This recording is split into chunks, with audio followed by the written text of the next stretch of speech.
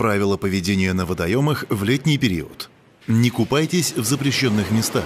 Не выходите в плавание без спасательных средств. Не заплывайте за знаки ограждения.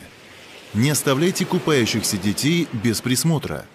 Не купайтесь в нетрезвом состоянии. Не подплывайте к проходящим судам.